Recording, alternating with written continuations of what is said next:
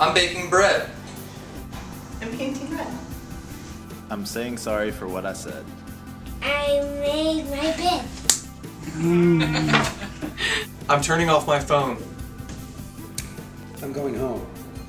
I'm singing loud. I'm making my dad proud. I'm teaching a dance. I'm learning to love France. I'm inviting over friends. I'm reading the Bible again. I'm riding my bike. I'm taking a hike. I'm giving her something she really likes.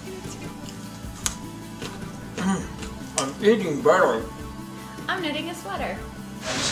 I'm getting buff. I'm realizing Christ is enough.